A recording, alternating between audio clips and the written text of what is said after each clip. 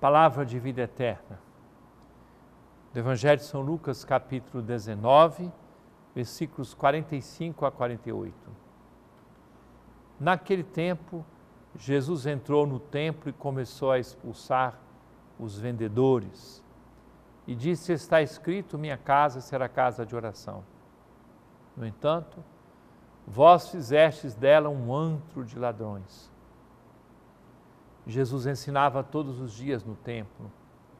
Os sumos sacerdotes, os mestres da lei e os notáveis do povo procuravam modo de matá-lo, mas não sabiam o que fazer, porque o povo todo ficava fascinado quando ouvia Jesus. Querido irmão, querida irmã, para nós vivermos a palavra que ouvimos hoje, eu quero fazer um pedido a Nosso Senhor, porque nós somos feitos templos do Espírito Santo. Eu quero entrar nesse Evangelho de dois lados, junto com você.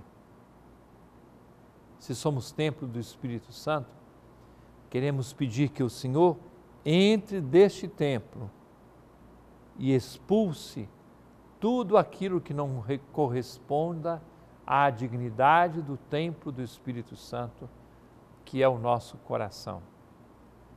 Que ele nos purifique, que ele abra o nosso coração, a fim de que saia tudo aquilo que não corresponde à graça de Deus em nossa vida. Segunda forma de entrar nesse Evangelho ficar fascinados com aquilo que Jesus diz. Cada um de nós fique encantado com a palavra do Senhor.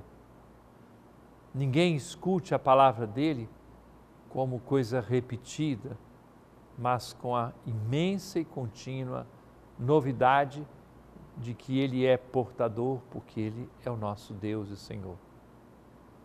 É palavra de vida eterna